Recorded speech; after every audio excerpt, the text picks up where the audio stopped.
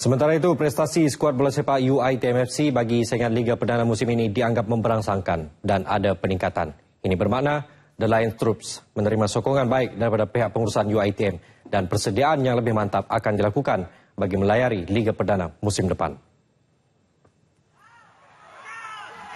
Mengulas mengenai prestasi pasukan bola sepak UITMFC, Profesor Dato Dr. Abdullah berkata, biarpun The Lions Troops gagal menepati sasaran merebut tangga ke-6 Liga Perdana, namun pasukan itu menunjukkan peningkatan.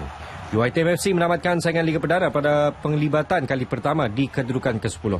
Seterusnya di tangga ke-9 tahun kedua dan tahun ini mereka menamatkan saingan Liga Perdana di tangga ke-8. Ketika ditanya mengenai harapan untuk pasukan pada musim depan, ini jawapan beliau yang juga merupakan Presiden UITMFC.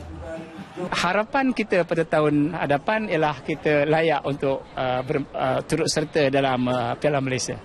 The Lion Troops mengumpul 25 mata keseluruhan setelah memperoleh 7 kemenangan, 4 seri dan 11 kekalahan di tangga ke-8 Liga Perdana 2015.